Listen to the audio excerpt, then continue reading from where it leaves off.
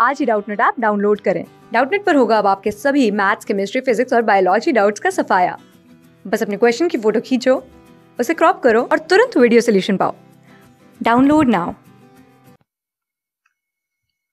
A bivalent consists of, bivalent के अंदर क्या क्या देखने को मिलता है? तो हम जानते हैं बाइवेलेंट आपको कहाँ देखने को मिलेंगे?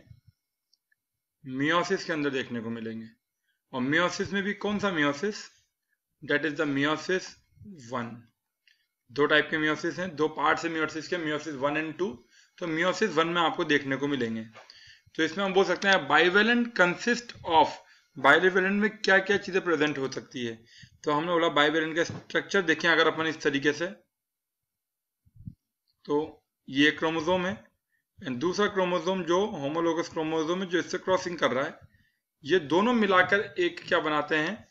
They both form a single bivalent so answer should be एक बाइवेलेंट में क्या होगा? फोर क्रोमेटिड्स होंगे और दो सेंट्रोमियर होंगे। दो सेंट्रोमियर तो आपके ये रहे। एक सेंट्रोमियर ये है, ये रहा दूसरा सेंट्रोमियर और दो और चार क्रोमेटिड्स हैं। इस तरीके से, ये देखिए। वन टू थ्री फोर ये, these all are the chromatids. So, the answer should be four chromatids and two centromere, option number two. Class six से ट्वेल्थ से लेके NEET I I T JEE mains और advance के level तक। दस million से ज़्यादा स्टूडेंट्स का भरोसा।